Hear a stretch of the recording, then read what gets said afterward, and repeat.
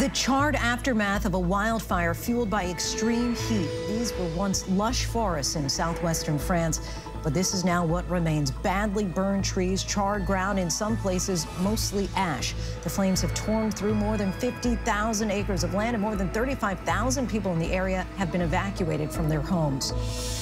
Wildfires are also being fueled in the south, where some states have experienced days of record-breaking triple-digit temperatures. More than 100 million Americans are under excessive heat warnings and advisories once again. The dangerous heat is now hitting the Northeast, and it could stretch through the week and into next week. Rob Marciano is timing it all out. As the country heats up, President Biden takes action on climate change. He signed several executive actions calling it an existential threat as well as a clear and present danger, but he didn't declare it a national emergency. Our Terry Moran joins us with the details. The January 6th committee prepares for tomorrow's prime time hearing. Jon Karl has the latest on what to expect from the presentation and the testimony from former Trump aides.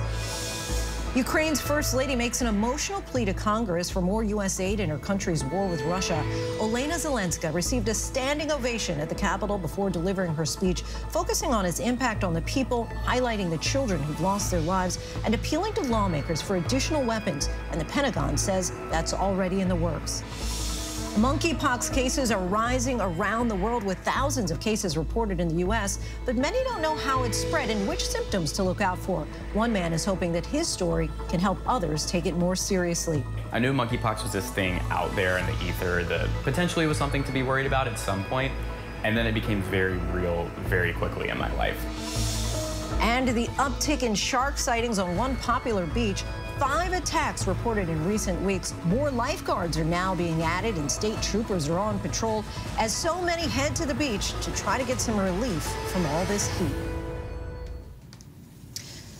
Good evening, everyone. I'm Linsey Davis. Thank you so much for streaming with us. We begin with the extreme heat blanketing the country tonight. More than 140 million Americans in 29 states are under heat alerts from California to Kansas to New England.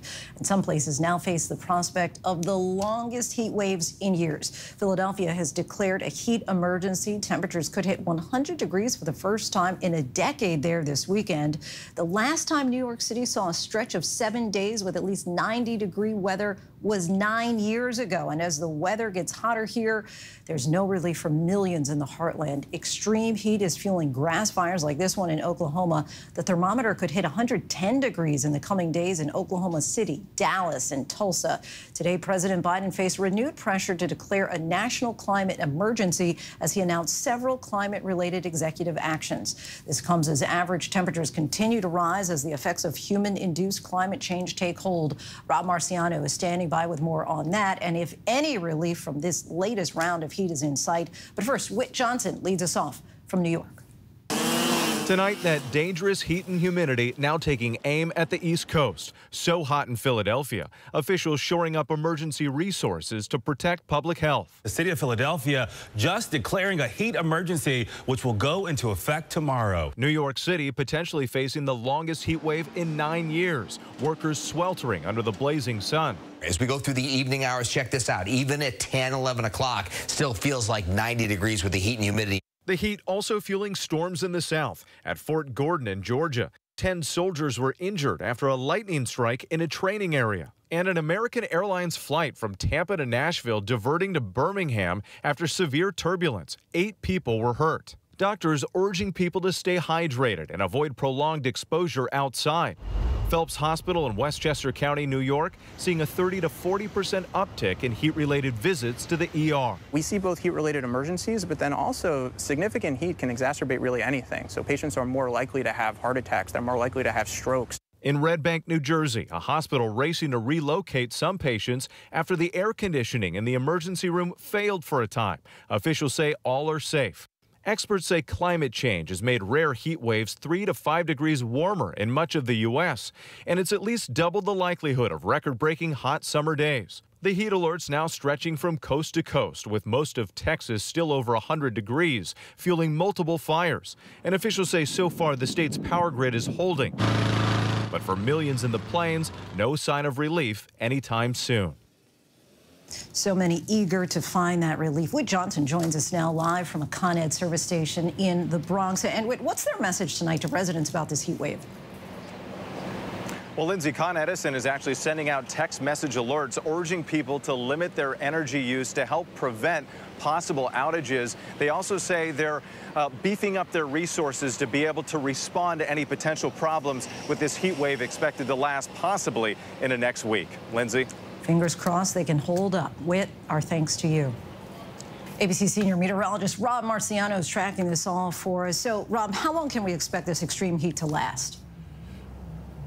Well, for quite a while, Linsey, at least uh, here in the Northeast, this may be the longest stretch of 90 plus degree weather that we've seen in, in, nearly a decade. And across the southern plains, it's been like this for a month. Let's take a look at the maps again. The southern plains through the heartland, uh, they're under excessive heat warnings. Louisville, southern Indiana through Memphis, back through Dallas. Dallas, you had a record high again today. Same with Austin, up and over 100 degrees. And Oklahoma as a state, uh, you haven't seen this sort of heat ever as, as far as the expansive nature of it. Across the corners, we still have the heat baking the southwest there. Less humidity, of course, in the northeast and the east coast. Advisories are now up, so that's where it's expanding. And the I-95 corridor, although we have been hot here over the next last couple of days, it's only going to keep going this way through the weekend, mid to upper 90s. Hartford, Rhode Island, in through Boston, back through Philadelphia, near 100 degrees.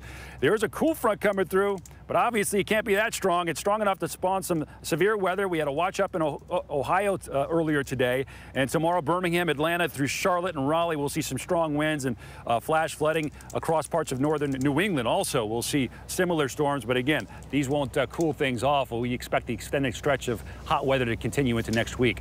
All amplified, by the way, Linsey, by climate change. Right, and, Rob, I was just going to ask you about that because we keep hearing that scientists are saying that we should essentially expect, I guess, these uh, temperatures to continue to rise.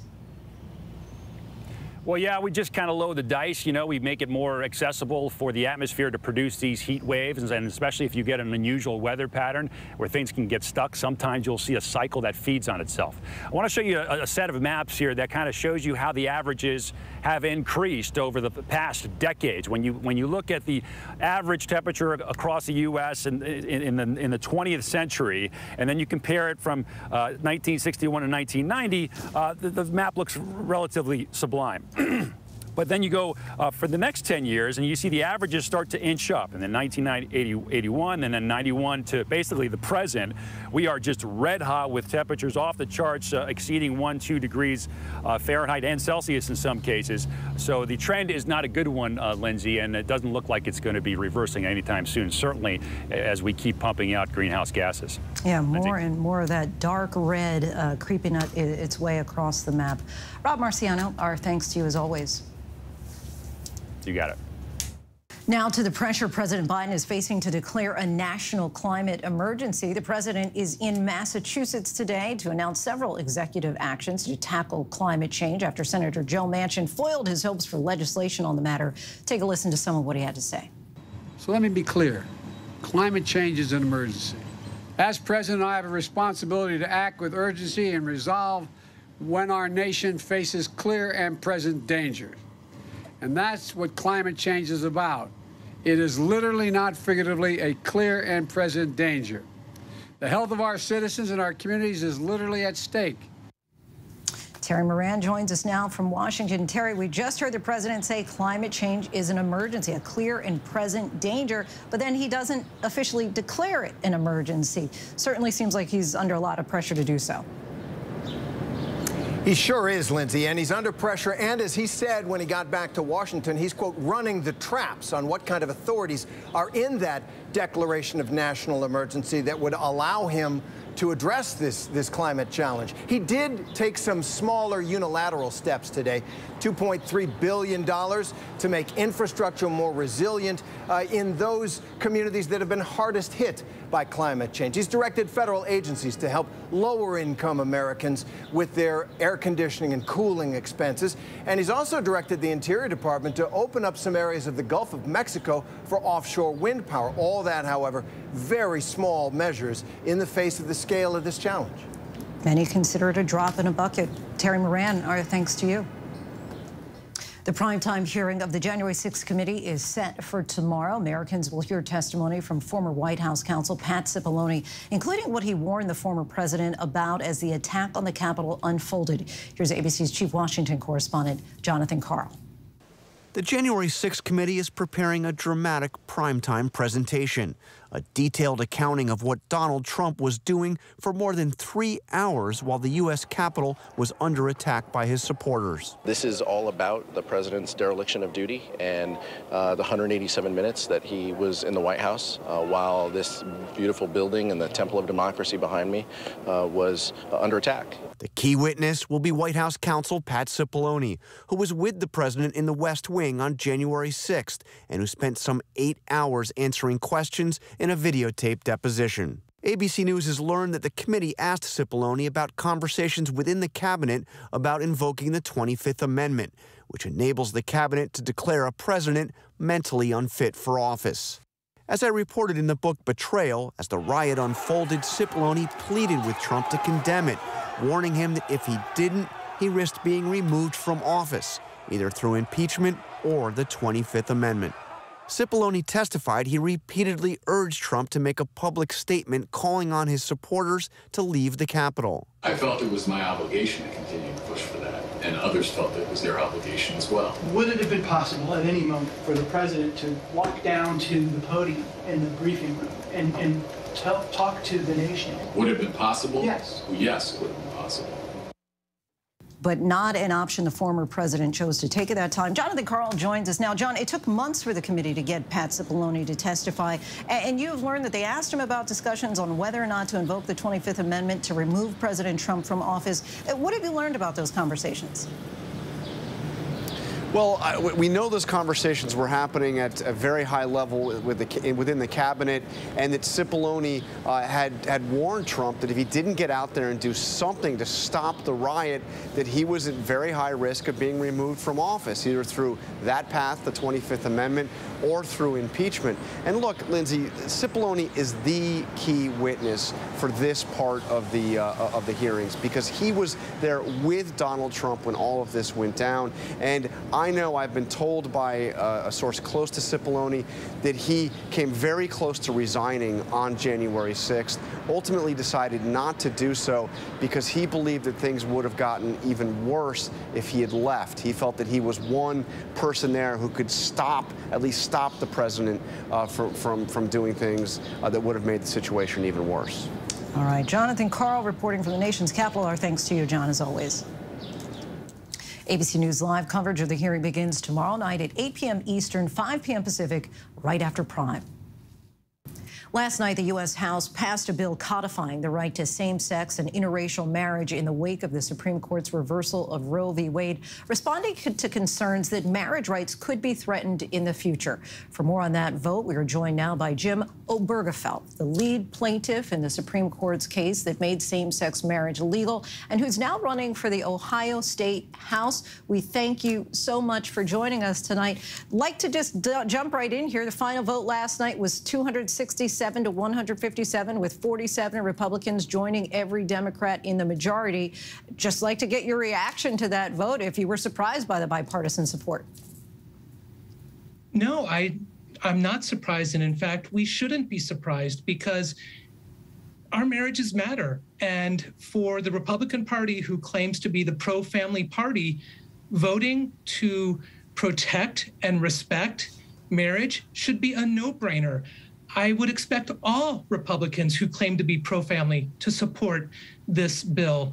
And I think it's outrageous that, other than those 47 people who did, the remainder of the Republican Party in the House chose to say they do not support families. They do not believe families deserve to be protected. I'm curious now it goes on to the Senate. Do you feel confident that there will be enough Republican votes there in order to protect the right to, to marry on, on the national level?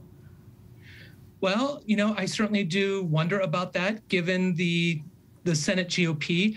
Mitch McConnell has said that he is not going to push this. He is going to wait and see. Well, Senator McConnell, our families cannot wait and see. Our families deserve to be protected and respected.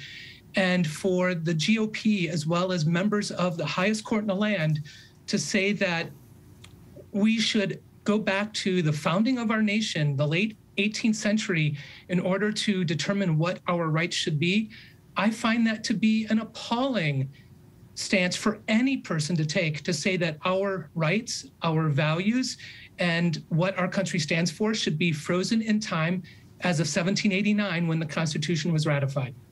Uh, we've heard from some Republicans who say that this bill isn't necessary and that this is a, quote, manufactured crisis, that marriage isn't threatened because of the Roe decision. But as you well know, Justice Clarence Thomas specifically mentioned that the decision in your case should be revisited in his opinion on Roe. So what's your response to the Senate Republicans who, who may argue that this bill isn't even needed right now? Well, my response is if it isn't even needed, then it shouldn't be hard for you to vote in favor of it. Take the time to say yay and show that you are actually pro family, that you support keeping our relationships and our families safe and protected, and that we do deserve the respect that we get as married couples and as families. So, no, it is not a manufactured crisis. We have a sitting Supreme Court justice who has made it clear he does not believe marriage equality should stand.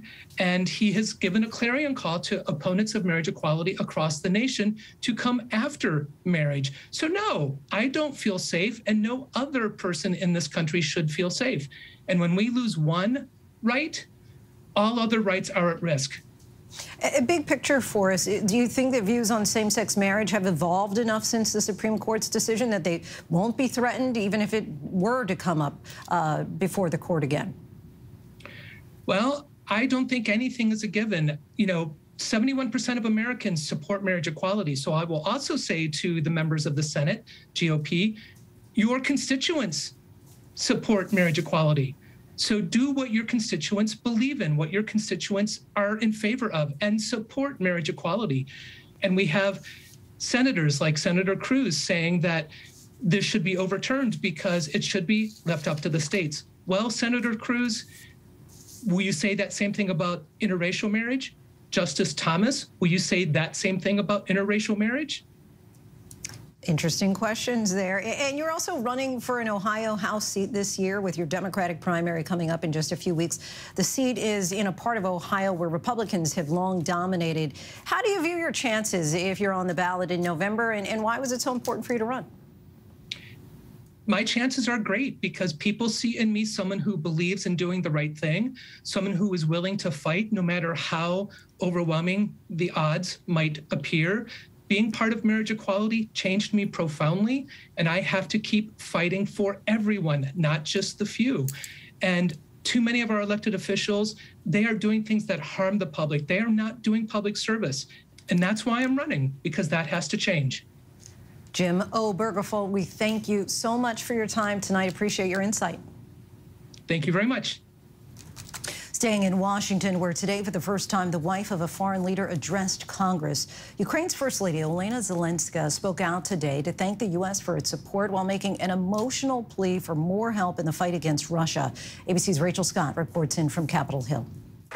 Tonight, an unprecedented and personal plea from the First Lady of Ukraine, Olena Zelenska, warning of a worsening humanitarian crisis. I want to address you not as First Lady, but as a daughter and as a mother. One by one, Zelenska showing images of the youngest victims of the war.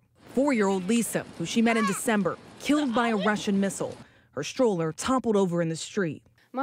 Lisa's mother is in serious condition, and for several days, nobody dared to tell her that Lisa has died. Five year old Eva, who liked to draw pictures, killed alongside her grandmother. And Sophia from Bucha, who lost her mother and her arm in the violence.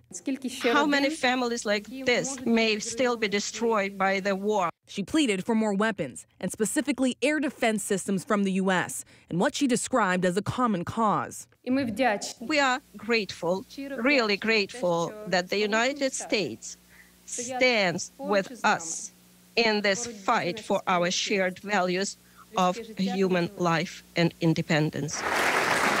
Her speech ending with a rousing standing ovation. The U.S. is promising to deliver four more HIMARS rocket systems to Ukraine, in addition to the dozen the U.S. has already sent. Ukrainian officials credit the systems with helping blunt the Russian offensive in eastern Ukraine. But the White House also warning Moscow plans to annex more territory in Ukraine beyond what it already controls. That desperate plea from the First Lady of Ukraine. Rachel Scott joins us now from the Capitol. Rachel, we heard new warnings from both U.S. intelligence as well as Russian officials on Russia's plans. What's each side saying? Well, tonight, Russian Foreign Minister Sergei Lavrov has a very stark warning saying that if Western countries continue to supply Ukraine with long range weapons, then it will, in fact, expand further into the country. But U.S. officials from the State Department say they knew that this was Russia's plan all along, and they are not surprised by this, Linsey. All right. Rachel Scott, our thanks to you as always.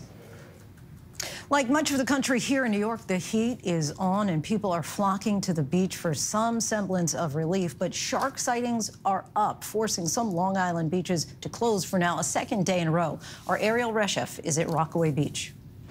Tonight, swimmers urged to be on high alert at the most popular beaches in the New York City area. There was a fish that jumped out of the water today, and everyone kind of had a little look to the side, thinking it was a shark. Park officials shutting down some areas to swimmers for a second day in a row after shark sightings on Long Beach. On Tuesday, similar sightings at other beaches, too. It was five to six feet, 25 yards out, um, and it definitely had the triangular fin. We both saw it and we took the proper precautions, let the lieutenant know, red flag the beach. And New York's Long Island reporting five shark attacks in the last few weeks. Late today, officials saying what appears to be the carcass of a great white shark washed ashore there. New York's Governor Kathy Hochul increasing the number of lifeguards and state troopers patrolling for sharks. Our beaches are such an important part of our uh, attraction. You know, why people love living here, why they want to visit here, and we need to keep our beaches safe. With beaches now reopening, surfers cautiously heading back into the water. It's always something to look out for, especially now. It's a worry. Lots of concern for sure. Thanks to Erielle for that. When we come back, the dramatic video and the woman pleading, I don't want to die, as an officer tries to save her life. Righting a wrong, the black family given back the deed to parts of a Southern California beach decades after it was taken from their ancestors. But up next, monkeypox cases continue to rise. Just how concerned should we be? Our in-depth look next. With so much at stake, so much on the line, more Americans turn here than any place else. ABC News World News Tonight with David Muir, America's number one most watched newscast, now streaming on ABC News Live. This is ABC News Live. The crush of families here in Poland. At refugee centers. In Putin's Russia. On the ground in Ukraine. Close to the front line. Here at the White House. Destructive Cat 4 storm. Here along I-5. Boston is in the bullseye. Let's go. We made it. ABC News Live. America's number one streaming news. Anytime, anywhere. Streaming 24-7. Straight to you for free. Thank you for making ABC News Live America's number one streaming news. Admit it. These days, what you need to know seems to change just about every day. What is it that you really want to know, need to know? To help you not just get through your day, but to make the most of it. Feel smarter. Feel better. Feel happier. Well, how about a third hour of Good Morning America? GMA 3, what you need to know. Now streaming on ABC News Live. It's all about you. The hottest news in daytime are happening right here. We talk about things on this show that people don't talk about. That I can't wait to see. Honest takes from strong women. We need all hands on deck, and we need it right now. This is the time to speak out. Unafraid to get real. We stick by our points of view. We're all seeing it differently, and that's the beauty of The View. And that's why the most watched number one daytime talk show is The View. Now streaming on ABC News Live. America is being poisoned with fentanyl, and we don't even know it. Just heard my wife screaming. She told me they had just died. 50 to 100 times more potent than morphine. Keep breathing, come on. It's poison, it's pure poison. A few grains of salt worth of fentanyl will kill you. Just my agency has seized enough to kill the entire country. ABC News Live presents Poisoned, America's Fentanyl Crisis. The powerful series, streaming free on ABC News Live. Take America's number one news with you anywhere you go, anytime, free. Download the ABC News app now. Breaking news, exclusives, 24 7. There for you with one touch. The ABC News app. Download it now. America's number one news, ABC News. Most watched, most trusted, and streaming live to you anytime, anywhere, and free. This is ABC News Live, America's number one streaming news. Free to you 24 7. Watch America's number one news whenever you want it, wherever you are, anytime. ABC News Live, streaming live and free on all platforms. A South Carolina officer is being hailed a hero after he saved a woman as he was driving home from work around 1.30 in the morning. He stopped after coming across a crash and seeing this fiery car several weeks ago. He got out of his vehicle, fire extinguisher in hand, and found a woman pleading to be rescued. Officer Doug Richards of the Mount Pleasant Police Force put out the flames and was safely able to rescue the woman. It is the latest virus spreading across the United States, and the exploding case count has doctors expressing serious concern. So, what is monkeypox? How does it spread? What are the signs and symptoms? And how can you stay protected? ABC's Andrew Dymburt reports. Overall, really miserable, swollen lymph nodes, not good. I've got these on my arms and hands that you can see. They are uh, really not cute. For Matt Ford, it was first the spots that raised the alarm, then came the symptoms, many of them similar to the flu. Fever, sore throat, cough, um, uh, full body chills, sweating through my sheets at night, and uh, I went and got tested. The diagnosis monkeypox, a virus rarely detected outside of Africa, and it's now making its way through the United States. This experience was uh, one of the most painful things I've ever gone through in my life. More lesions appeared as the flu-like symptoms kind of went away. I think in total I counted more than 25 all over my body. Some were really excruciating on more sensitive skin. Others at best were really itchy and annoying. Um, I had to go back to my doctor again to get pain medicine just to be able to go to sleep some nights. Matt's illness lasted for three weeks. So the reason I'm speaking out about it is because I tweeted about it and it kind of started to blow up. So he decided to make his story public in hopes of raising awareness about a virus that's spreading at a substantial speed. I guess I wanted people to take it seriously because I was one of those people who didn't take it that seriously before it directly affected me. I knew monkeypox was this thing out there in the ether that potentially was something to be worried about at some point. And then it became very real very quickly in my life. More than 2,300 cases have been reported in the country, and it's been just 63 days after the first known case. And New York, like with COVID, has become the epicenter of the virus in the U.S. And that's probably an undercount.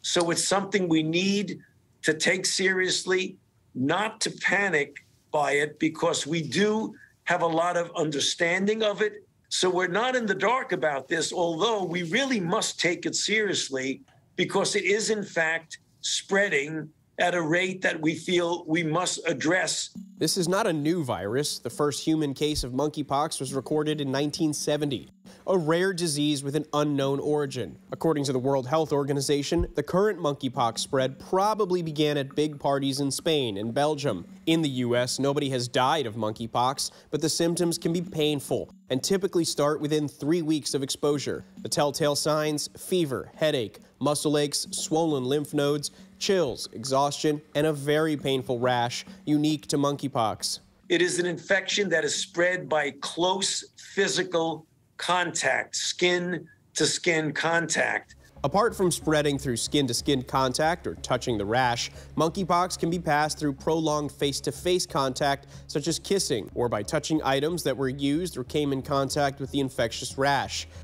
There is treatment and a vaccine available, but these days getting an appointment is not an easy task. In New York City, a batch of 8,200 appointments released on Friday night were booked up in just minutes amid a nationwide vaccine shortage. There are not enough vaccines to keep up with the demand, says the CDC. In New York City, long lines and people trying their luck. I came here for like three days already because I don't have an appointment.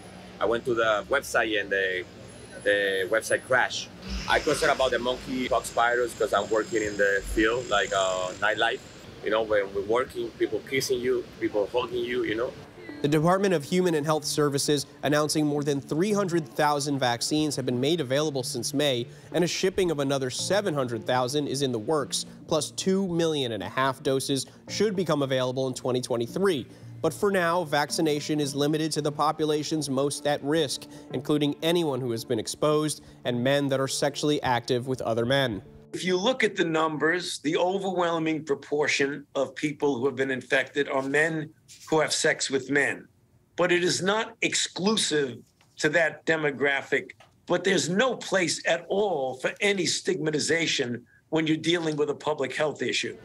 Yes, it is high within the queer community right now, but it is not targeting queerness in the LGBTQI community, monkeypox feeling like a throwback to the discrimination gay men faced when HIV first came around. I got some really cruel DMs and comments, messages from people. There were a few comments that referenced that maybe this was like God's punishment in some way to like gay men, uh, which kind of echoes some sentiment that we saw during the HIV epidemic. The reality is that the virus does not discriminate, and cases have already been reported outside of the LGBTQI community. Cases are growing quickly, especially now that the testing capacity has been expanded to 70,000 tests per week, and an uptick is expected during the rest of July and August. And there's no clarity yet about when the vaccine will be widely available. For high risk groups, prevention for now seems to be the key. What I am telling people is just being really mindful of who you're in close proximity with especially people in the demographics like the queer community who are most at risk. Get vaccinated as soon as possible if you can. Obviously, there's a short supply, but more are on the way. So as soon as you can, even if it's just the first shot, get it ASAP. Our thanks to Andrew for that. Still ahead here on Prime, the police in San Bernardino tell their side of the story after video of a deadly police-involved shooting leaked, where the family of the man shot and killed is also demanding. A major update in a case that horrified America. The younger Turpin children are now suing a California county that they live in and a foster agency, how they say they were failed by the system. And the U.S. Army has some serious recruiting challenges. We take a look by the numbers. But first, our tweet of the day from Buzz Aldrin, 53 years after he achieved one of the most important feats in the history of mankind.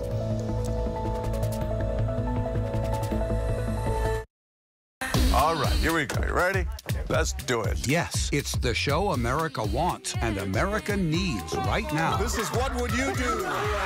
Let's go. How are you? hug you? Yes. So what will you be watching Saturdays on ABC News Live? What would you do? Hey, I guess I just found out. the What Would You Do Marathon, 12 to 6 Eastern, every Saturday on ABC News Live. My favorite show. This is ABC News Live. The crush of families here in Poland. At refugee centers. In Putin's Russia. On the ground in Ukraine. Close to the front line. Here at the White House. Destructive. Cat 4 storm. Here along I-5. Boston is in the bullseye. Let's go. We made it. ABC News Live, America's number one streaming news. Anytime, anywhere. Streaming 24-7, straight to you for free. Thank you for making ABC News Live, America's number one streaming news. America is being poisoned with fentanyl, and we don't even know it. Just heard my wife screaming. She told me they had just died. 50 to 100 times more potent than morphine. Keep breathing, come on. It's poison, it's pure poison. A few grains of salt worth of fentanyl will kill you. Just my agency has seized enough to kill the entire country. ABC News Live presents Poisoned, America's Fentanyl Crisis. The powerful series, streaming free on ABC News Live. These days, with so much going on, it's hard to keep up. While others are recapping yesterday's headlines, we're bringing you the right now. This is the busy border crossing, steel barricades, another strike. The right now look at the day ahead, how it affects you and your family. Record high gas prices. The threat of cyber warfare. Is peace possible? World News Now beginning at 2 a.m. Eastern, followed by America This Morning. America's number one early morning news. Streaming here on ABC News Live. Take America's number one news with you anywhere you go, anytime, free. Download the ABC News app now. Breaking news, exclusives, 24 7. There for you with one touch. The ABC News app. Download it now. As of today, in a big way, we have inaugurated abcnews.com. A lot has changed in our world since Peter made that announcement. But what hasn't changed is the commitment to groundbreaking reporting and innovation in abcnews.com. And here's to everything ahead. Welcome back, everyone. It seems that fewer Americans want to be all they can be as the U.S. Army faces a recruiting shortfall. Let's take a look by the numbers. The U.S. Army says that it will fall short of its goal for 60,000 new service members by the end of the fiscal year. That's according to congressional testimony from one of the Army's top leaders. The Army has met 50% of that goal to date and projects that it will fall about 10,000 soldiers short of the goal by the end of September. That means the U.S. Army's total force will be about 466,400 400 by the end of the fiscal year instead of the target of 476,000. And that recruiting target had already been lowered earlier this year after the Army saw lower numbers of incoming recruits. The Army says that it could also fall short by as many as 28,000 soldiers on the next fiscal year's recruitment goal. That would mean a two-year shortfall of close to 40,000 service members. So what's driving the decline? The Army points to the post-COVID economy with unemployment less than 4% and private companies offering offering more pay and incentive to new employees. And the pool of eligible Americans has shrunk from 29% to 23% as fewer young Americans meet the Army's physical standards to serve. That's according to Army officials. Now, that's left in the Army considering more financial incentives to try to boost the ranks of new recruits. And we still have lots to get to here on Prime tonight. Before he killed 12 people at a movie theater in Aurora, Colorado, James Holmes spent months being treated by a psychiatrist. Ten years later, she tells us her side of the story. We're hearing from the parents of two black girls at the center of that viral video at Sesame Place, what they now want the park to do to the performer who they say ignored the little pair. But first, a look at our top trending stories on abcnews.com.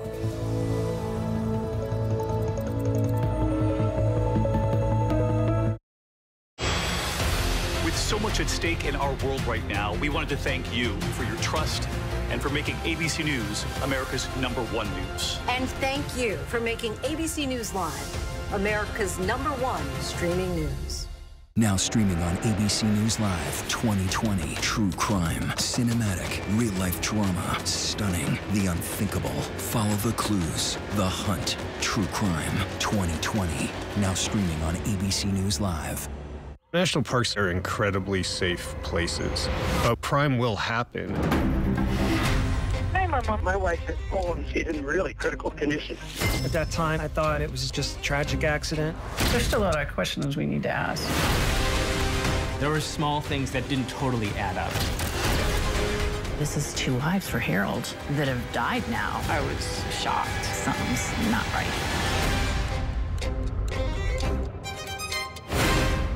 Admit it. These days, what you need to know seems to change just about every day. What is it that you really want to know, need to know? To help you not just get through your day, but to make the most of it. Feel smarter.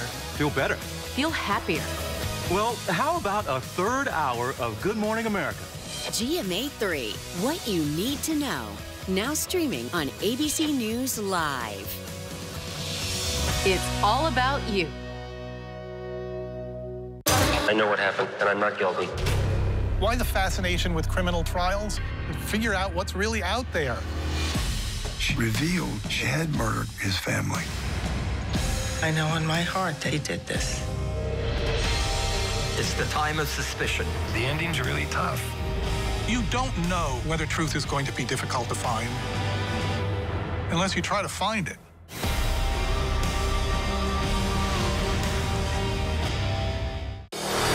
America's number one news, ABC News.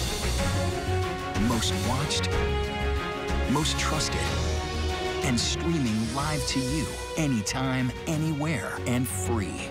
This is ABC News Live, America's number one streaming news. Free to you 24 7. Watch America's number one news whenever you want it, wherever you are, anytime. ABC News Live, streaming live and free on all platforms.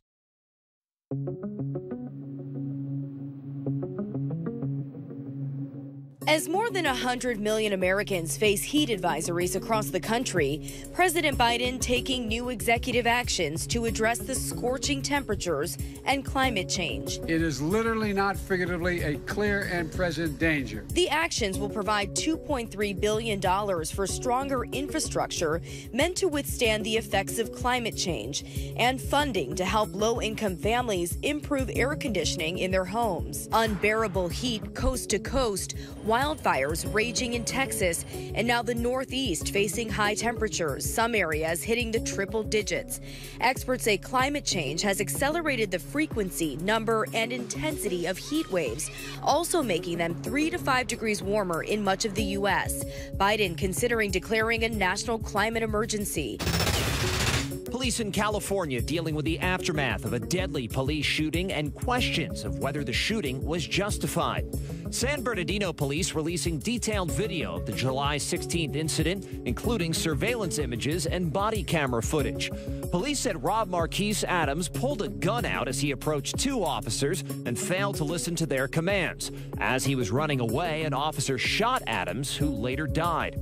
Adams' family believes he was not holding a gun, but a cell phone. At a press conference with Adams' family, attorney Ben Crump criticized the officer's actions. This is a classic example of shoot first and ask questions later. Why is it the police think the most dangerous thing in America is a black man running away from them? In South Carolina, disbarred attorney Alex Murdaugh pleaded not guilty to murdering his wife and son at a hearing today. The once prominent attorney was making his first court appearance since being indicted on the murder charges last week. His defense attorneys requested a speedy trial and pushed authorities to go after the real killers. Murdaugh had already been jailed on insurance fraud charges, accused of trying to stage his own murder, and will remain behind bars ahead of the trial for the June 2021 killings. Funeral services held today in Manhattan for Ivana Trump. The ex wife of former President Trump died last week at the age of 73. The former president was in attendance along with former First Lady Melania Trump, as well as his three children with Ivana and their families. Ivana Trump was found unresponsive at the bottom of a staircase in her apartment on the Upper East Side. The New York Medical Examiner's Office says her death was accidental, caused by injuries from a fall. Apology not accepted so far from the family and attorneys of two young black girls who appeared to have been snubbed by a Sesame Place character at Sesame Place. We reject any notion that the performer's actions this past Saturday was anything short of intentional. I just want them to be able to do the right thing, being that me, my niece, and my daughter has have all suffered um, one embarrassment Yes. Um, discriminatory behavior. Sesame Place promising to take action, including better training of employees. The six year old girls were seen on video, arms outstretched for the character Rosita, but apparently being waved away, the family says, in favor of other white children. A wrong finally righted after nearly 100 years. A parcel of Manhattan Beach in California that was taken from the Bruce family by eminent domain officially handed back to the family. The land known as Bruce's Beach had been owned by Charles and Willa Bruce, who ran a resort on the property which catered to African Americans until the land was taken by the city in 1924.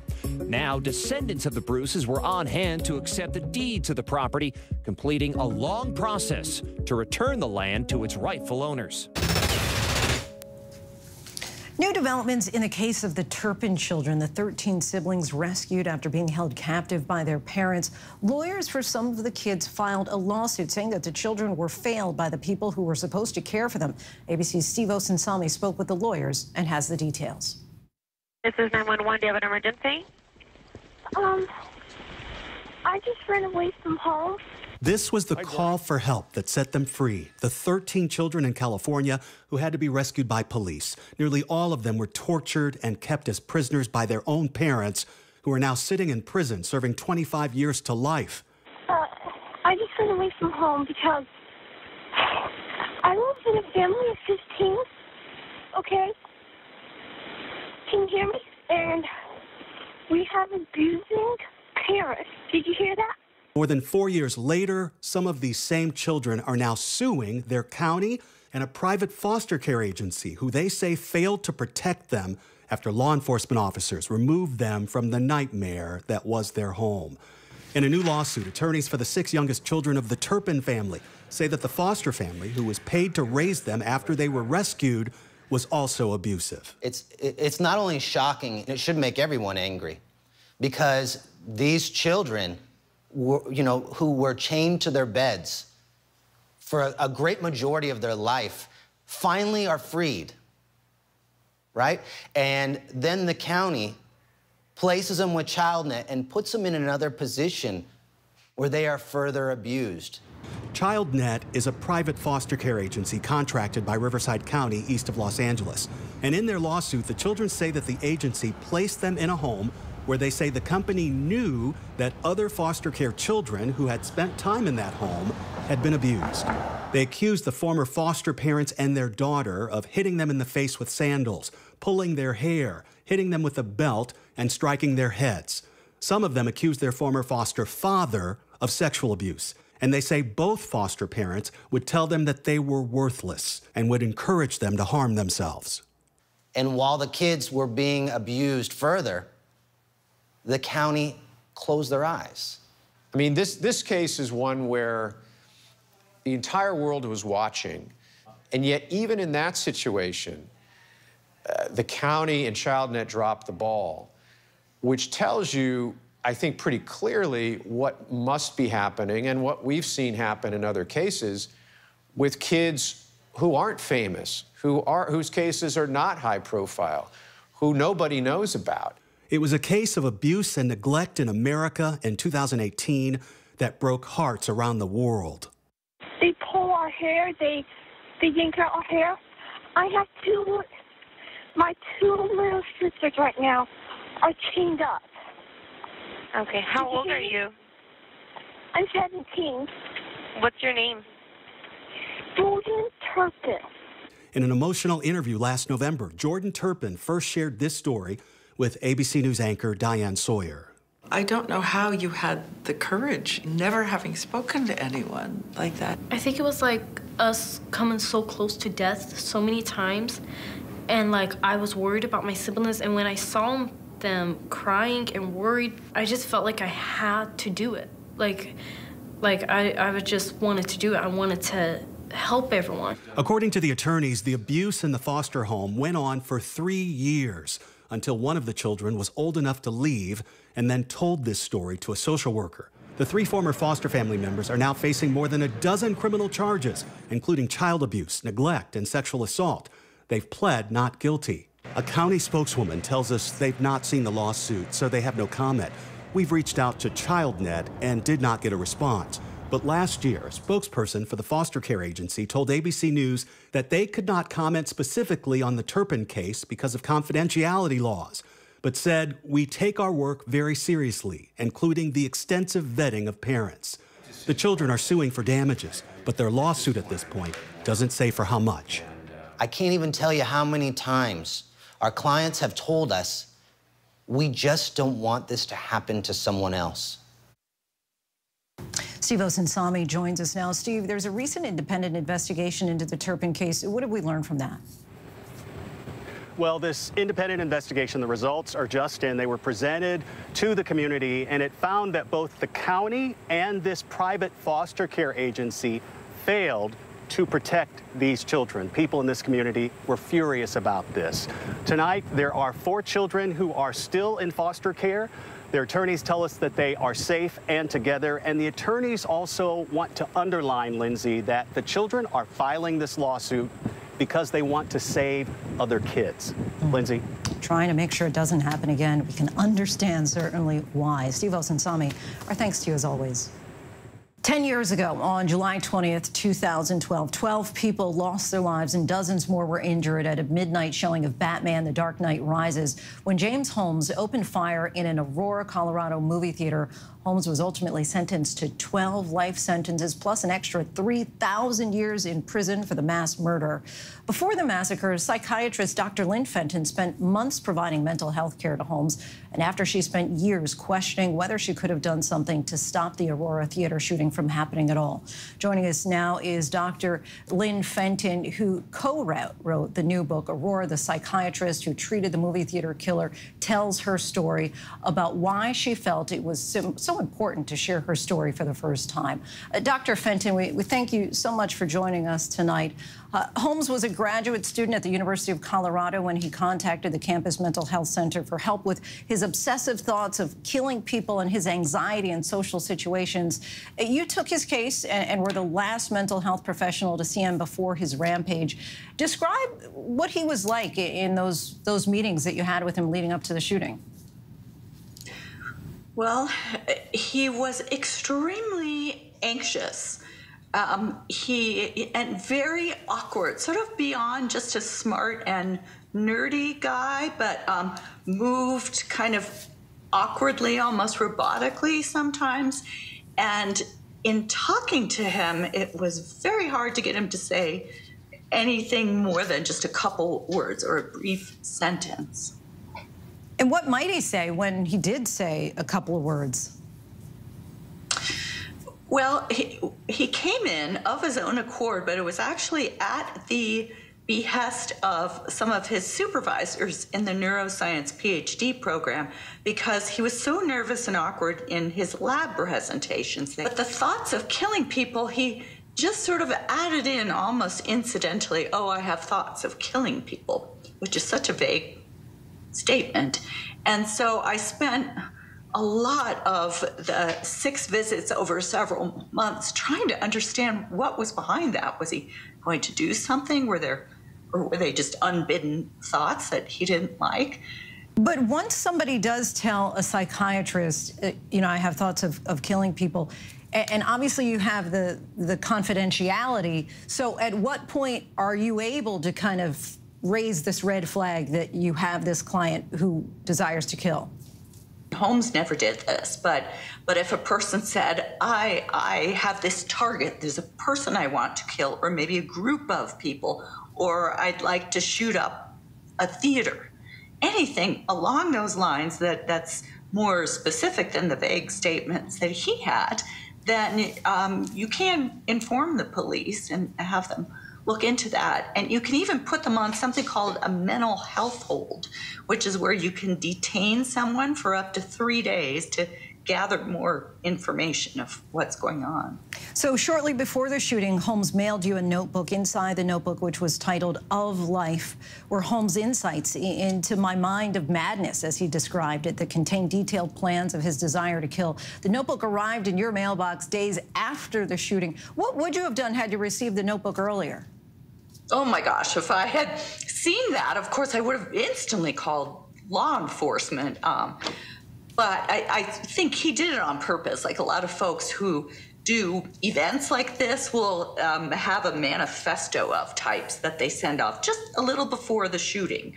Um, and essentially, that's what this was. And it was an attempt to explain, you know, why he did this, but it truly it makes no sense to a sane person but it, it really goes through the details of why he picked the theaters and how he cased the joint and you know when he was going to arrive and it's it's very chilling and, especially we see there all those pages of why, why, why. It, what are uh -huh. your mm-hmm. thoughts about why uh, we're seeing this rise in mass shootings 10 years still after that theater massacre?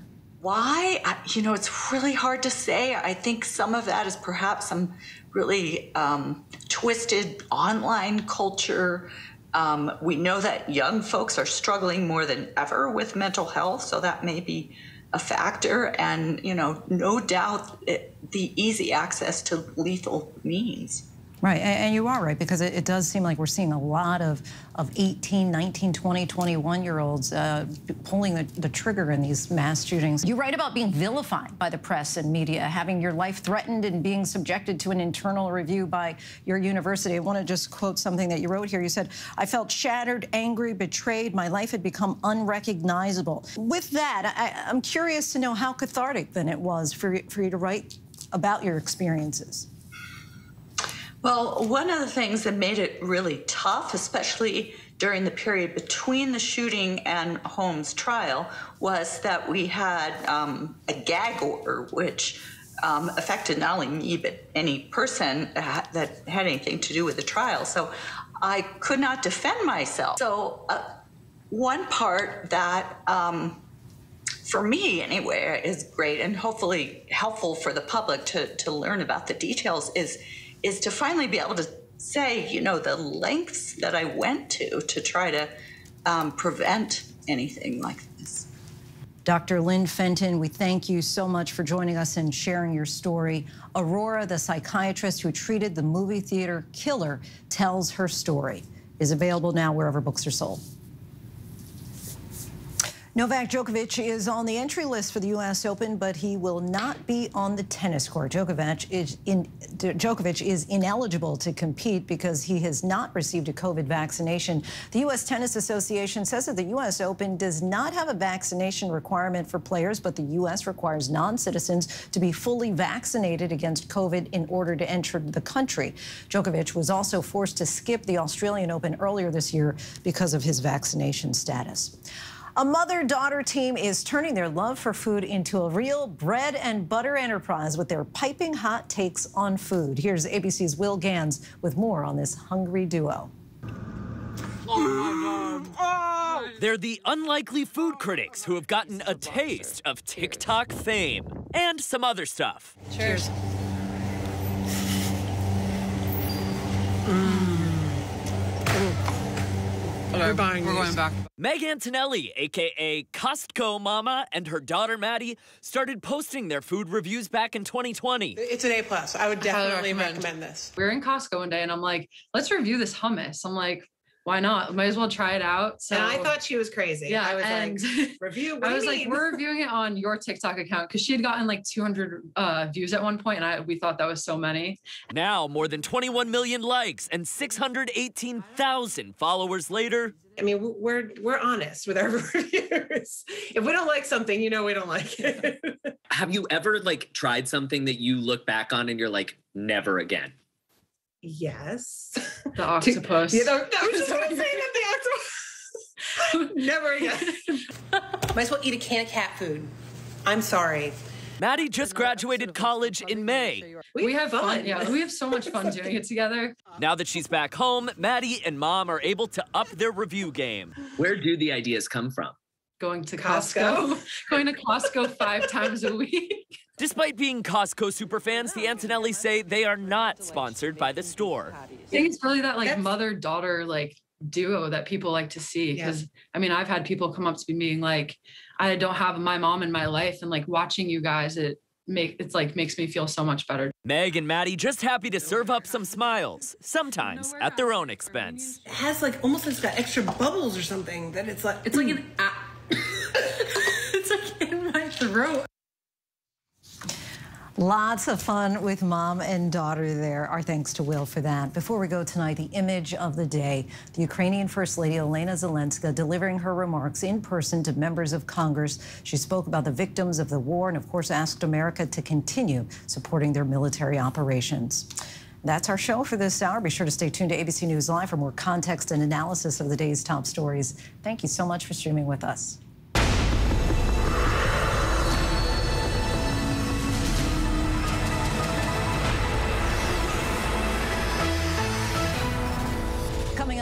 Hour, we're staying on top of a few things. Dangerous heat is causing an uptick in hospital visits and fueling wildfires. The warnings from doctors for people and their pets.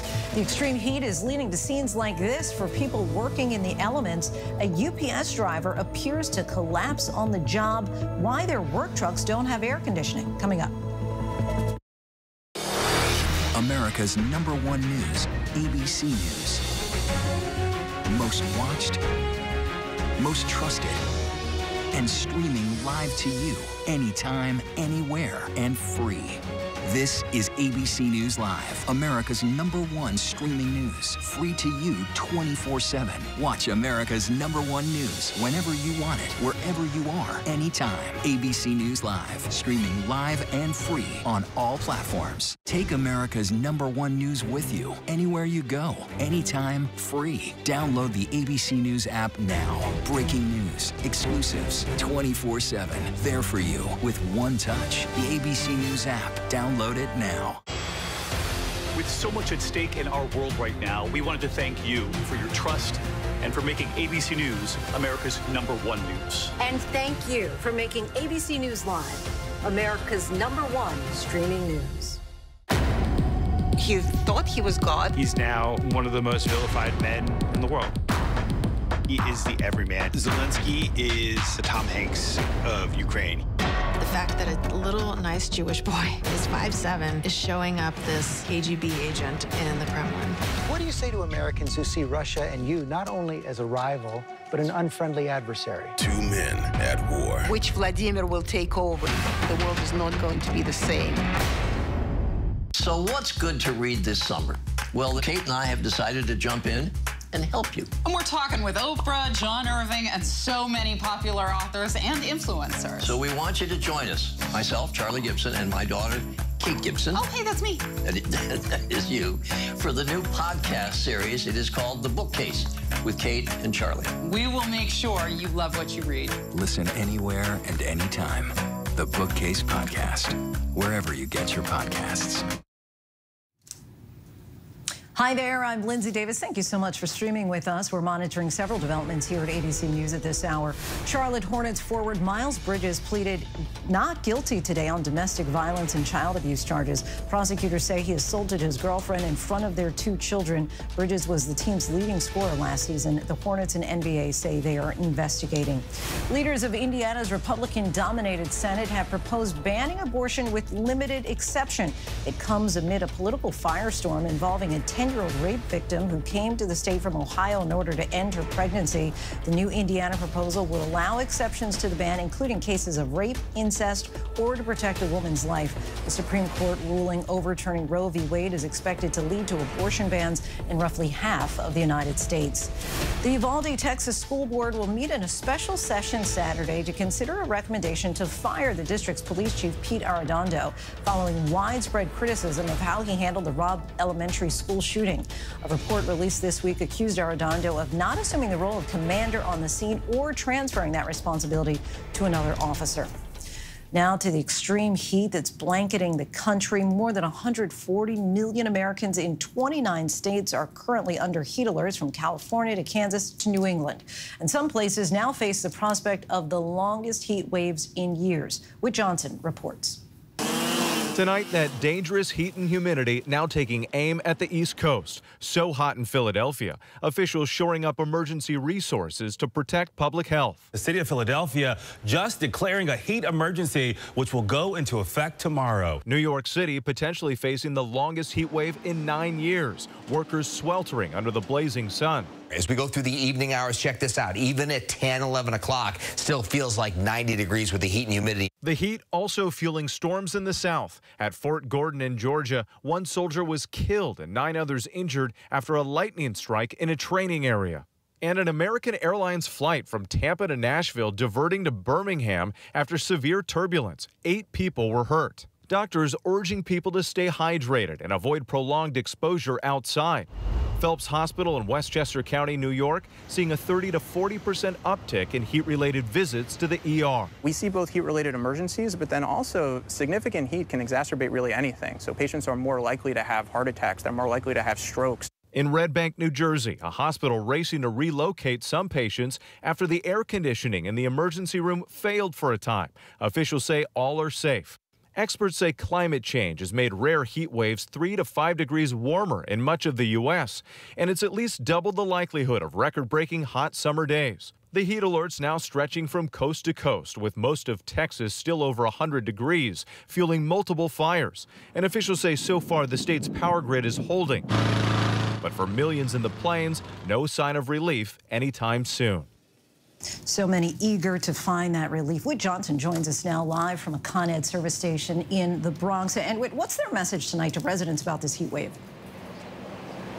Well, Linsey, Con Edison is actually sending out text message alerts urging people to limit their energy use to help prevent possible outages. They also say they're uh, beefing up their resources to be able to respond to any potential problems with this heat wave expected to last possibly in the next week. Linsey? Fingers crossed they can hold up. Whit, our thanks to you. Now let's go to one place that is used to all of this heat, Phoenix. But tonight, that heat is certainly taking a toll. You may have seen this video appearing to show a UPS driver collapsing while delivering a package. Reporter Ashley Paredes joins us now from KNXV in Phoenix. This is certainly remarkable video, Ashley, but, but why aren't those trucks cool and, and are there solutions out there? Right, Linsey. Well, the trucks don't have air conditioning because of the frequent stops that these drivers make, some making as many as 200 stops a day. That's a lot. And those trucks don't have doors in the front, which help provide a steady breeze, but it's the back of those trucks that are producing the heavy heat. And just to give you some perspective, so far this year, Phoenix has hit 110 degrees or higher 17 times already. So the back of those trucks, as you can imagine, are even hotter than that. In the summer, though, UPS does provide water and ice to all of its employees. They also provide regular heat, illness, and injury prevention training to operations managers and drivers as well. But just tough conditions out there. Yeah, you can imagine it's just steamy in that storage area. How's UPS responding tonight? Well, UPS telling us that that driver that you see uh, in the video, that he is doing fine, and that drivers in general are trained to work outdoors and for the effects of hot weather. Now, the driver, again, who collapsed, reportedly contacted his manager right away and was immediately provided assistance.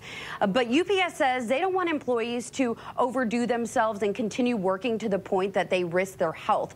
So the company says that they do have a cool solutions program, which focuses on educating employees about hydration along with nutrition and proper sleep, all of those elements helping when you're working in hot conditions. They also say that they have morning meetings with drivers all year round, reminding them of the forecast temperatures and encouraging them to be aware of their own health conditions and report to them when needed. Ashley Paredes, our thanks to you. Some helpful tips and advice there. We appreciate it. Now to the prime time hearing of the January 6th committee set for tomorrow night, where Americans will hear testimony from former White House counsel Pat Cipollone. ABC's chief Washington correspondent Jonathan Karl has the latest, including what Cipollone warned the president as the attack on the Capitol unfolded.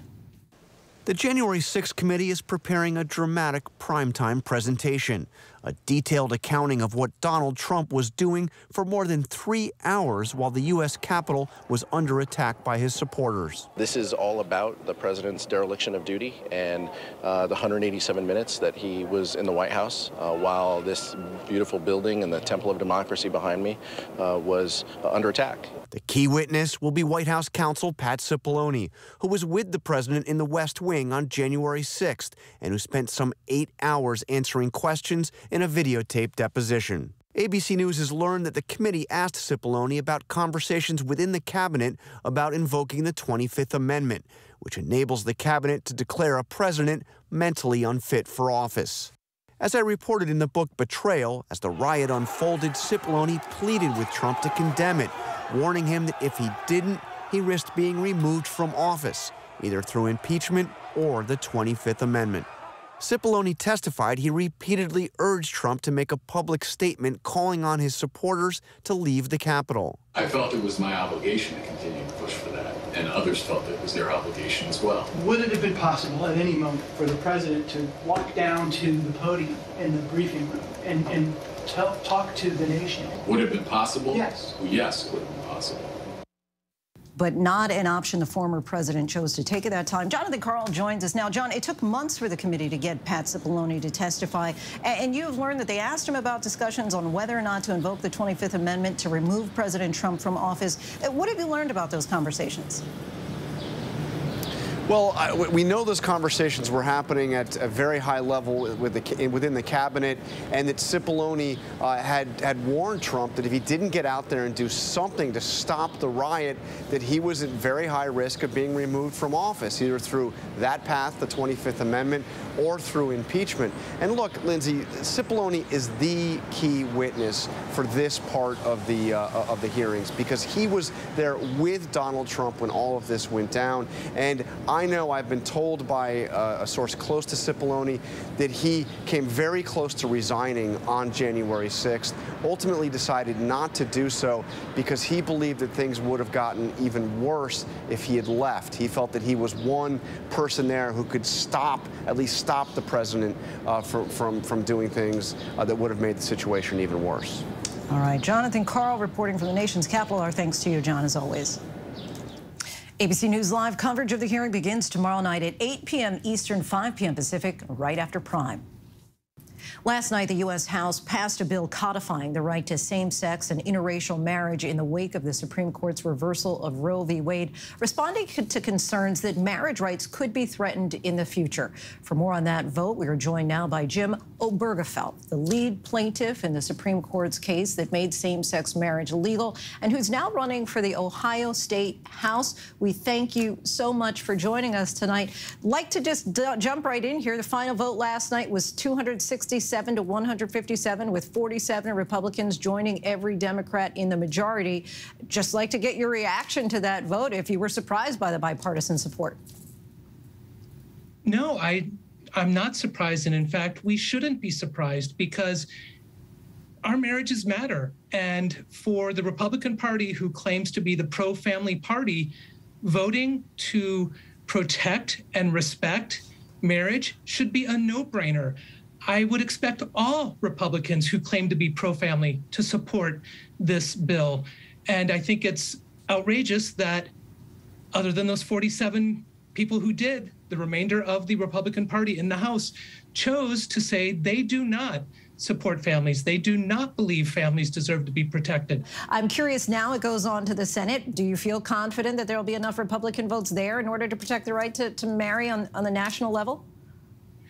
Well, you know, I certainly do wonder about that given the the Senate GOP. Mitch McConnell has said that he is not going to push this. He is going to wait and see. Well, Senator McConnell, our families cannot wait and see. Our families deserve to be protected and respected. And for the GOP, as well as members of the highest court in the land, to say that we should go back to the founding of our nation, the late 18th century in order to determine what our rights should be, I find that to be an appalling stance for any person to take to say that our rights, our values, and what our country stands for should be frozen in time as of 1789 when the Constitution was ratified. Uh, uh, we've heard from some Republicans who say that this bill isn't necessary and that this is a, quote, manufactured crisis, that marriage isn't threatened because of the Roe decision. But as you well know, Justice Clarence Thomas specifically mentioned that the decision in your case should be revisited in his opinion on Roe. So what's your response to the Senate Republicans who, who may argue that this bill isn't even needed right now? Well, my response is if it isn't even needed, then it shouldn't be hard for you to vote in favor of it take the time to say yay and show that you are actually pro family, that you support keeping our relationships and our families safe and protected, and that we do deserve the respect that we get as married couples and as families. So, no, it is not a manufactured crisis. We have a sitting Supreme Court justice who has made it clear he does not believe marriage equality should stand. And he has given a clarion call to opponents of marriage equality across the nation to come after marriage. So, no, I don't feel safe, and no other person in this country should feel safe. And when we lose one right, all other rights are at risk. A big picture for us. Do you think that views on same sex marriage have evolved enough since the Supreme Court's decision that they won't be threatened, even if it were to come up uh, before the court again? Well, I don't think anything is a given. You know, 71% of Americans support marriage equality. So I will also say to the members of the Senate, GOP, your constituents support marriage equality. So do what your constituents believe in, what your constituents are in favor of, and support marriage equality.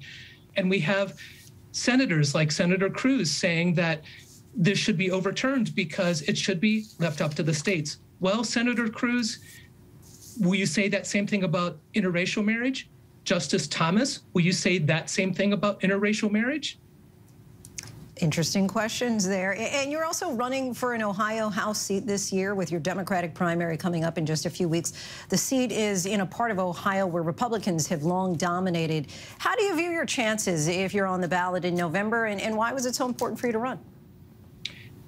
My chances are great because people see in me someone who believes in doing the right thing, someone who is willing to fight no matter how overwhelming the odds might appear.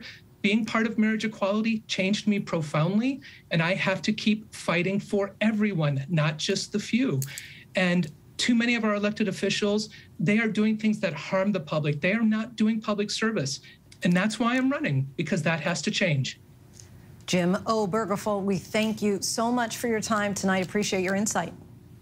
Thank you very much. Today, for the first time, the wife of a foreign leader addressed Congress. Ukraine's First Lady Olena Zelenska speaking today to thank the U.S. for its support while making an emotional appeal for more help in the fight against Russia. ABC's Rachel Scott has the details from Capitol Hill. Tonight, an unprecedented and personal plea from the First Lady of Ukraine, Olena Zelenska, warning of a worsening humanitarian crisis. I want to address you not as First Lady, but as a daughter and as a mother. One by one, Zelenska showing images of the youngest victims of the war. Four year old Lisa, who she met in December, killed by a Russian missile. Her stroller toppled over in the street. Lisa's mother is in serious condition, and for several days, nobody dared to tell her that Lisa has died. Five year old Eva, who liked to draw pictures, killed alongside her grandmother. And Sofia from Bucha, who lost her mother and her arm in the violence. How many families like this may still be destroyed by the war? She pleaded for more weapons, and specifically air defense systems from the U.S., and what she described as a common cause. We are grateful, really grateful, that the United States stands with us in this fight for our shared values of human life and independence. Her speech ending with a rousing standing ovation. The U.S. is promising to deliver four more HIMARS rocket systems to Ukraine, in addition to the dozen the U.S. has already sent. Ukrainian officials credit the systems with helping blunt the Russian offensive in eastern Ukraine. But the White House also warning Moscow plans to annex more territory in Ukraine beyond what it already controls. Our thanks to Rachel Scott. Still to come, the oil spill in the tropics. Plus, exactly what is monkeypox and just how concerned should we be? Stay with us. This is ABC News Live. The crush of families here in Poland. At refugee centers. In Putin's Russia. On the ground in Ukraine. Close to the front line. Here at the White House. Destructive Cat 4 storm. Here along I-5. Boston is in the bullseye. Let's go. We made it. ABC News Live. America's number one streaming news. Anytime, anywhere. Streaming 24-7. Straight to you for free. Thank you for making ABC News Live America's number one streaming news. America's number one news, ABC News. Most watched, most trusted, and streaming live to you anytime, anywhere, and free. This is ABC News Live, America's number one streaming news, free to you 24 7. Watch America's number one news whenever you want it, wherever you are, anytime. ABC News Live, streaming live and free on all platforms. National parks are incredibly safe places, A crime will happen. Hey, my mom. My wife is fallen. She's in really critical condition. At that time, I thought it was just a tragic accident. There's still a lot of questions we need to ask. There were small things that didn't totally add up. This is two lives for Harold that have died now. I was shocked. Something's not right. Now streaming on ABC News Live 2020. True crime, cinematic, real life drama, stunning, the unthinkable. Follow the clues. The Hunt. True crime 2020. Now streaming on ABC News Live. Take America's number one news with you anywhere you go, anytime, free. Download the ABC News app now. Breaking news, exclusives, 24 7. There for you with one touch. The ABC News app. Download it now. Welcome back. We're tracking several headlines around the world. Sri Lankan lawmakers have elected the country's prime minister as the new president. Supporters and protesters quickly gathered for demonstrations after the announcement was made. Earlier this month, you'll remember the former president fled and then resigned following weeks of protests demanding top leaders to step down amid a growing economic crisis. Some families in the UK have lost their homes after wildfires fueled by record heat. Several homes in this village east of London were destroyed by the flames. Aerial footage shows firefighters working to put out the remaining flames. Wednesday was London's hottest day ever, reaching nearly 104 degrees. A vessel delivering fuel spilled about 30,000 gallons en route to the Bahamas resort island of Great Exuma. The area is famed for its white sand beaches and crystal blue waters, as well as beaches where tourists can swim with pigs. Oil company executives say they're cooperating with efforts to clean up the spill. It's not clear yet what the environmental impact of the spill will be. It is the latest virus spreading across the country, and the exploding case count has doctors expressing some serious concerns. So, what exactly is monkeypox? How does it spread? What are the signs and symptoms? And how can you stay protected? ABC's Andrew Dymburt reports. Overall, really miserable, swollen lymph nodes, not good. I've got these on my arms and hands that you can see. They are uh, really not cute. For Matt Ford, it was first the spots that raised the alarm, then came the symptoms, many of them similar to the flu. Fever, sore throat, cough, um, uh, full body chills, sweating through my sheets at night, and uh, I went and got tested. The diagnosis monkeypox, a virus rarely detected outside of Africa, and it's now making its way through the United States. This experience was uh, one of the most painful things I've ever gone through in my life. More lesions appeared as the flu-like symptoms kind of went away. I think in total I counted more than 25 all over my body. Some were really excruciating on more sensitive skin. Others at best were really itchy and annoying. Um, I had to go back to my doctor again to get pain medicine just to be able to go to sleep some nights. Matt's illness lasted for three weeks. So the reason I'm speaking out about it is because I tweeted about it and it kind of started to blow up. So he decided to make his story public in hopes of raising awareness about a virus that's spreading at a substantial speed. I guess I wanted people to take it seriously because I was one of those people who didn't take it that seriously before it directly affected me. I knew monkeypox was this thing out there in the ether that potentially was something to be worried about at some point. And then it became very real very quickly in my life. More than 2,300 cases have been reported in the country, and it's been just 63 days after the first known case. And New York, like with COVID, has become the epicenter of the virus in the U.S. And that's probably an undercount.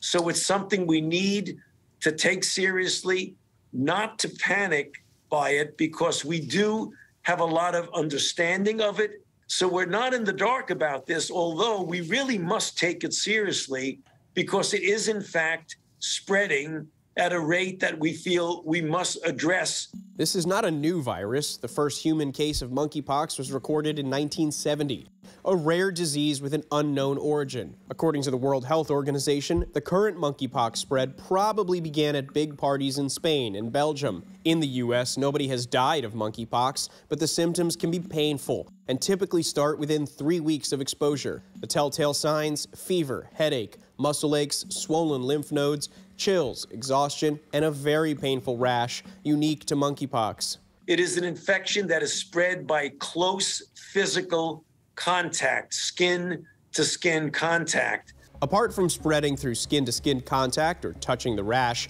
monkeypox can be passed through prolonged face to face contact, such as kissing, or by touching items that were used or came in contact with the infectious rash.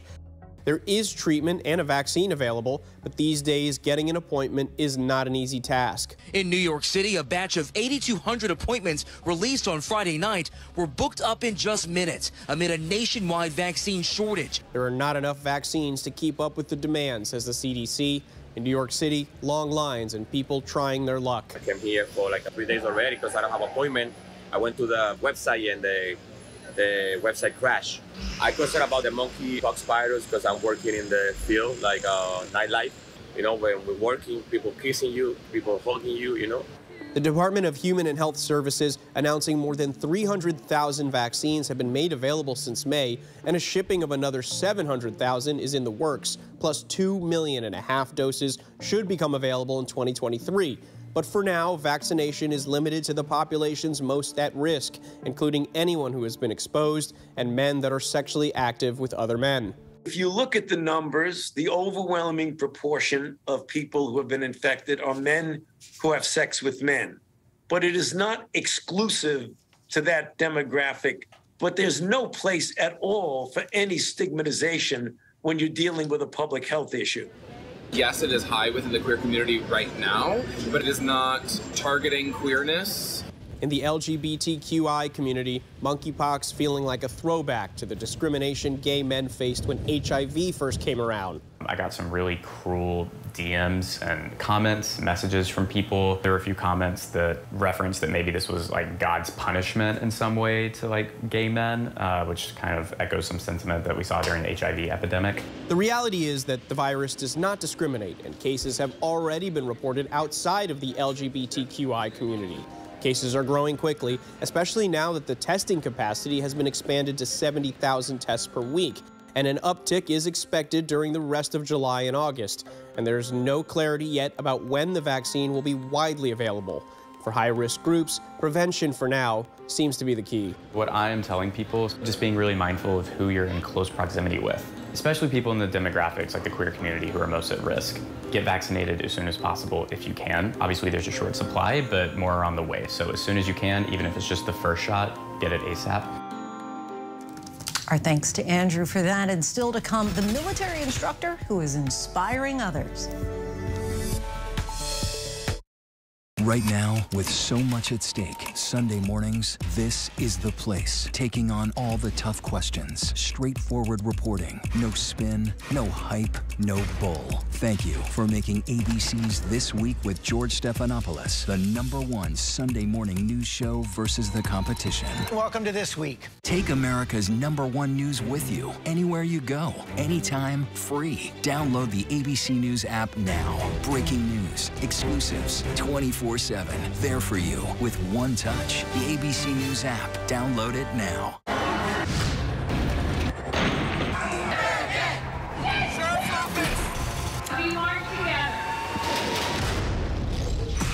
The most powerful stories of our time, anytime. Nightline. Ready for a little GMA-ish promo? Okay, here we go. GMA 7A every day with Robin, George, and Michael. That's how you start the day. Boom!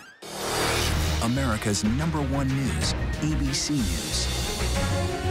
Most watched, most trusted, and streaming live to you anytime, anywhere, and free. This is ABC News Live, America's number one streaming news, free to you 24 7. Watch America's number one news whenever you want it, wherever you are, anytime. ABC News Live, streaming live and free on all platforms. A military training instructor at Joint Base San Antonio Lackland not only serves our country by training the best to be the best, but is serving as a beacon of hope and inspiration to many. Reporter Jonathan Cotto from our partner station KSAT introduces us to the first transgender military training instructor in the United States Air Force in tonight's local lowdown. Brandon Rodriguez is a military training instructor for the 321st Training Squadron at Joint Base San Antonio Lackland and has been serving for over a decade. I just hit 15 years uh, last month, June 13th of 2007. Serving as a military training instructor, a lifelong goal. This is something that I was fighting for for about six years, and I finally, finally got here, so this means a lot to me. And it means a lot because I enlisted as a female, um, and I did my first, I want to say my first 10 years ish as a female. A San Antonio native, Brandon was born Brandy Rodriguez and formed part of an old school, traditional, loving Catholic family as the youngest of five. I knew that I was not who I was, and I was born as a female, so making that uh, determination as a very young child put me in a, a mental space that wasn't conducive to a childhood life.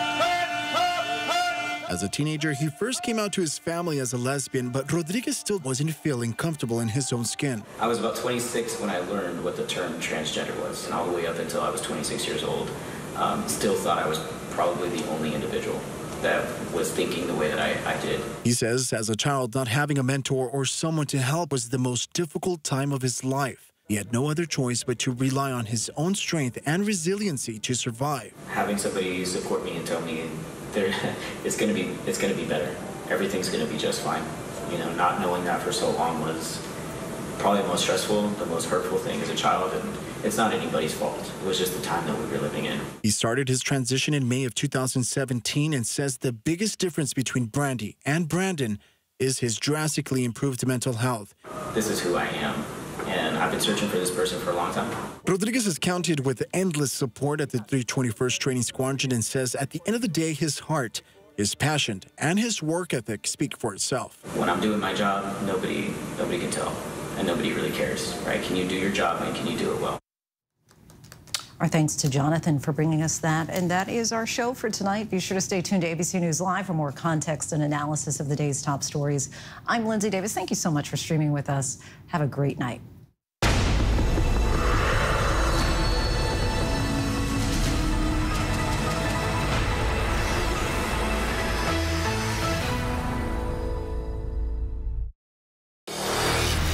America's number one news.